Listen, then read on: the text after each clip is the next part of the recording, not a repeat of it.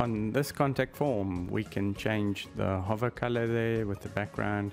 We can change the icon, the icon color, and we can change the button color. That a uh, few of those things we need to do in the custom CSS here. Um, master CSS color changer. It's marked out there.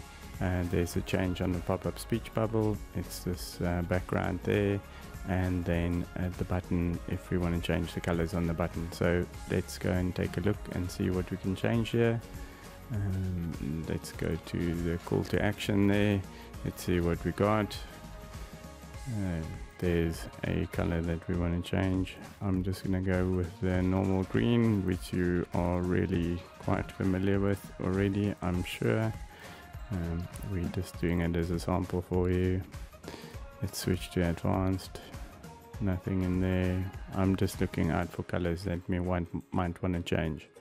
Let's check that out. Okay that's good. So we're good to go there. Now we could just gonna do one of these um, uh, pop-ups here.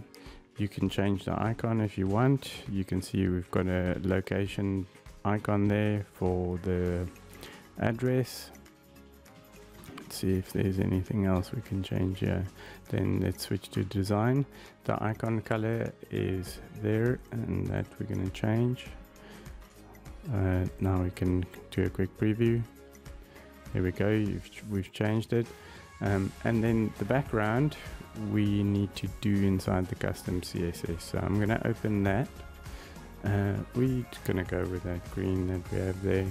And then change the pop-up speech bubble color um, let's see so the background color will be that and we'll do the same for this one. Let's just paste that in there. And then the button which is for the contact form we can change that as well. So let's just enter those colors here. Paste and then we'll do a border color which is slightly lighter. Do that once we've done this, we can just copy that and paste it into the custom CSS box. We're doing page specific CSS here, which only applies to this page. Save, let's update, and then we can reload the page. So there we go. This is updated, the background's updated, the button's updated, except the purple text on the button there. Um, I know where to do that, so we're just gonna go into the contact form here and then we're going to go to design and we're going to look for the button that's on the design. There we go. Uh, we're going to just change that to the green again. Let me copy that paste it in there. Off we go. Save. Update. And then reload the page. There we go. 100% updated. Thanks for watching. Ciao